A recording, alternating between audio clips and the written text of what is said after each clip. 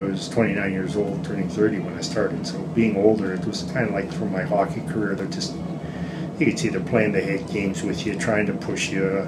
Some of these guys, younger guys, when you know you just say, "Hey, relax, boys. It's just a game." You can see, and worked our way through that. Had to work, learn how to study again.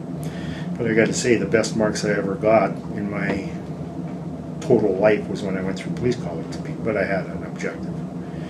Because there's two things I always wanted in my life to play professional hockey and to be a policeman, and I was able to do both. So, pretty fortunate. Being in Saskatoon, I, this would be a great spot to be a policeman.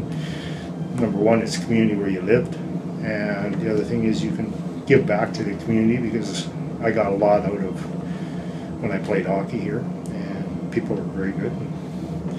I just thought I could help. The other thing is, I needed a job.